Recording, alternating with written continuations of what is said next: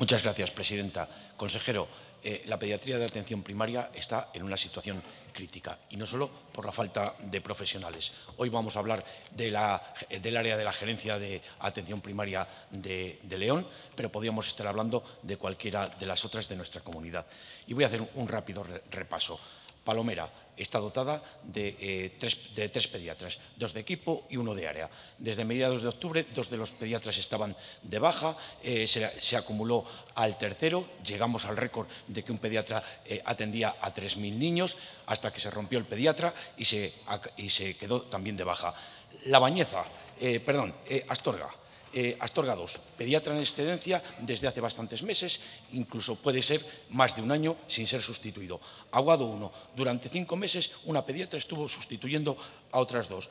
Eras, en este caso, solamente hay una eh, que no está, sustituida entre cuatro. Eh, Bañeza, vamos a estar próximamente en la misma, en la misma situación. y ya no le digo, mire, Navatejera y Villaobispo. Hace años se prometió el que iban a ir un pediatra a cada uno de los centros, que se iban a desplazar.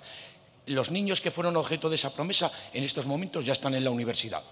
Eh, mire, eh, el sistema de cobertura ha sido natural el de la acumulación de cupos. Eso ha originado un cansancio eh, en los profesionales, una acumulación y eso evidentemente tiene efectos sobre la asistencia sanitaria, sobre todo si lo sumamos al tema de las guardias, a que cada vez hay menos pediatras que tienen que hacer un número mayor de guardias. ¿Cuál es la situación de la pediatría en la atención primaria de León? Gracias.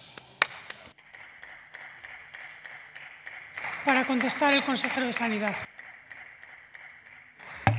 Gracias, señora presidenta. Pues después de describir la situación, me pregunta por la situación. Lo que usted ha señalado es bastante, bastante cercano a la realidad. En este momento le puedo decir que en la atención primaria de León hay 35 puestos de, de pediatra. 24 de ellos pediatras de equipo y 11 pediatras de área. Y en esta mañana había tres plazas que no hemos podido cubrir por ausencia de pediatras. Eh, esa es, de alguna manera, la realidad. Es una realidad que, como sabe usted, no es específica de León, también lo ha señalado, ni de Castilla y León. De hecho, hay un estudio preocupante, que es de la Sociedad Española de Pediatría, publicado en el mes de septiembre, que nos dice, y este dato coincide plenamente con la descripción que ha hecho usted en León, que el 8,4% de las plazas de pediatra de atención primaria no están cubiertas o están cubiertas por otros especialistas no pediatras. Pero es que la situación en España es del 25%. Hay comunidades autónomas, Castilla-La Mancha, por ejemplo, tiene el 48% de las plazas de pediatras sin cubrir o atendidas por un médico de familia. O Baleares, que Baleares el 48, Castilla-La Mancha el 41. Un problema sobre el que estamos trabajando, eh, con medidas organizativas de distinto tipo, que si quiere después le, puedo intentar concretar eh, en función de, lo que me, de lo que me plantea a continuación. Muchas gracias. Para un turno de réplica, el señor Mitadiel Martínez. Consejero, permítame, pero veo resignación en su respuesta.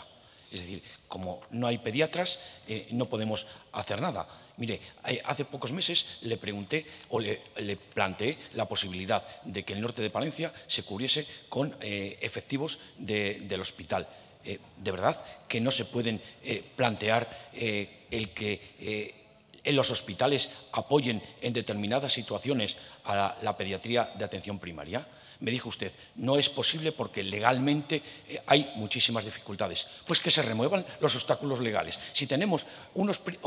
Eh, mire, no pasa en ninguna otra comunidad. Es que nuestra categoría de pediatras es la misma en primaria que en atención especializada. Esto tiene efectos negativos, pero también tiene que tener algún efecto positivo. Fusionamos las áreas. Bueno, hagamos algo para que la pediatría eh, hospitalaria pueda apoyar, porque es que se da la paradoja en algunas de nuestras áreas de que hay pediatras que ven tres o como mucho cinco, cinco pacientes, cuando hay otros que están viendo 50 o 60. Y claro, cuando se ven 50 o 60 pasan cosas. Pasan cosas sobre todo si uno está cansado. Y es que se pueden escapar Por lo tanto, lo que le estoy planteando no es una solución fácil, es una solución difícil, pero desde luego es preferible una solución difícil Señor Mitadiel, a la, termine. acabo, presidenta, a la resignación de decir no tenemos pediatra, no podemos hacer nada. Para un turno de dúplica el consejero de Sanidad. Gracias, señora presidenta. Eh, yo no me resigno, señor Mitadiel. ¿eh? A lo mejor lo ha deducido usted de, de mi tono, sé que de vez en cuando hacen referencia, pero yo no me resigno. Eh, fíjese, en, estos últimos años ya hemos tomado algunas decisiones. Por ejemplo, incrementar nuestra capacidad docente para formar pediatras y llevar al máximo esa capacidad. En este momento en Castilla y León hay 30, 24 plazas acreditadas para formar pediatras y llevamos varios años eh, llevándolo al límite, convocando las 24 plazas. En los cinco hospitales grandes, el mayor número de MIRES que se incorporan cada año son MIRES residentes de pediatría. En segundo lugar, usted plantea algunas soluciones que ya hemos ensayado en algunos casos. No crea que me resigno. Desde el Hospital del Río Ortega o desde el Hospital de Burgos o incluso desde el Hospital de León para el apoyo al Bierzo. Eh, y también lo estamos haciendo desde algunos de los hospitales hacia la atención primaria. Y no es algo que desechemos en el caso del Hospital de León. Lo que pasa es que cada hospital es un mundo, cada servicio de pediatría tiene unas características y, y es necesario esto tenerlo bien arbitrado y bien negociado con los propios pediatras.